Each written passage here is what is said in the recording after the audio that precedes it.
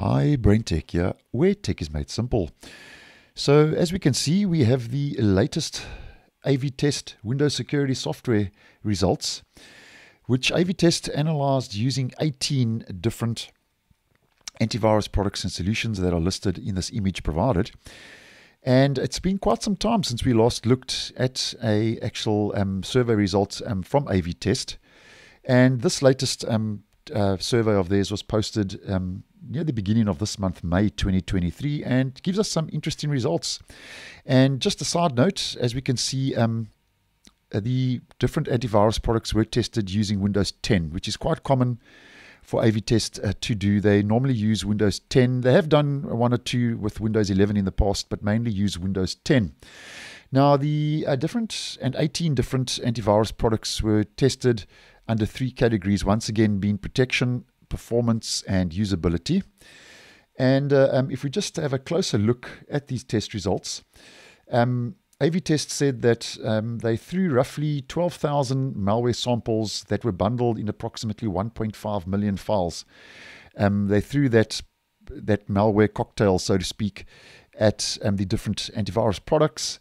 So quite an intense test that was um, these antivirus products were put through. Now, um, just zooming in here to give us a closer look. Uh, the top six products that basically gave the best um, uh, results were Avast, Avira, Bitdefender, GData, Kaspersky, and Trend Micro, which all scored maximum points for protection, performance, and usability. Now, if we just head down to the bottom, um, as we can see, um, Microsoft Defender did not do very well um, because it only um, scored 17 out of the 18 maximum points. And although it got 17 out of 18, um, it did get full marks for uh, protection, 6 out of 6, and usability, 6 out of 6 but dropped the ball horribly when it comes to performance. And it actually got the worst score uh, for performance, uh, believe it or not. And this actually doesn't surprise me because um, we have spoken about this previously with the different AV test results. And I have actually seen some comments uh, previously on the channel where this is an issue for users using Microsoft Defender, which, as many of you would know, comes bundled by default in both Windows 10 and Windows 11. So a little bit concerning. Um, although Microsoft has a bit of work to do with the performance, according to AV Test, it is good to know though that um, when it comes to protection, which is obviously the one of the main categories you want um, the product to do to do well in.